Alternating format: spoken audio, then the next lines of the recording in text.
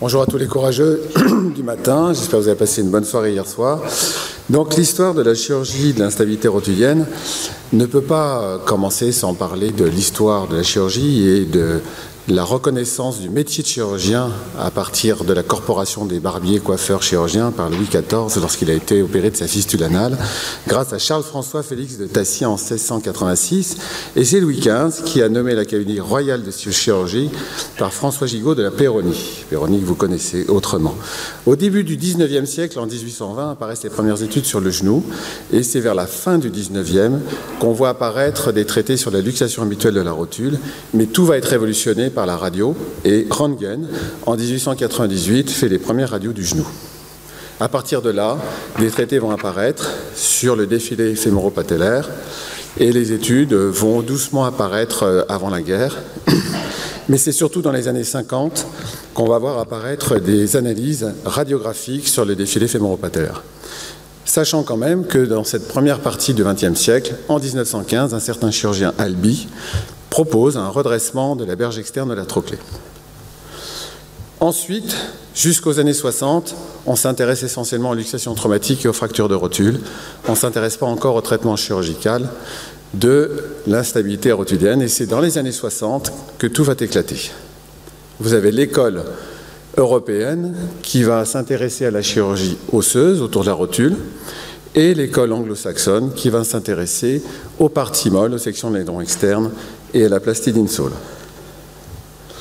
Alors on voit bien que dans les études, jusqu'au milieu des années 50, eh bien on s'intéresse à la description anatomique et après les années 50-60, on va s'intéresser au traitement de cette instabilité rotulienne. Et apparaît la transposition de Maquet en 63, la médialisation abaissement de Tria et Tria en 64,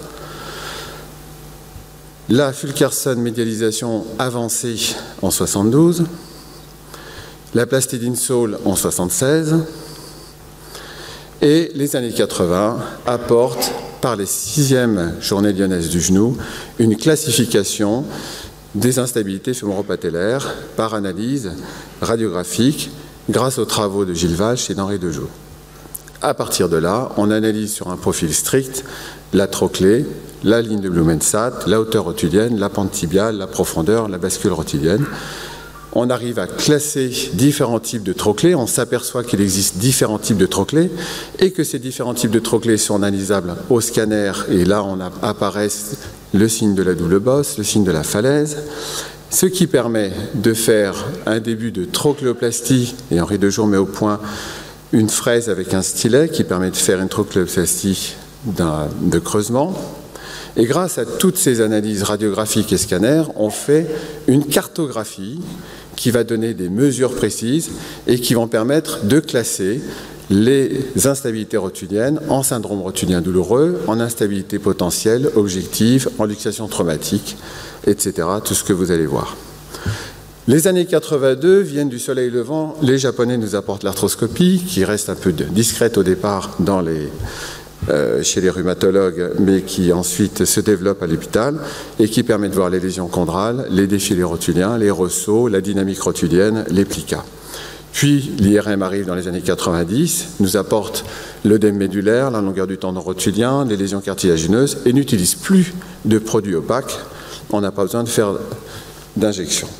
Et puis le XXIe siècle arrive le mini-invasif, la chirurgie ambulatoire et le renouveau de la plastidine soul sous la forme du MPFL dont on va vous parler ce matin.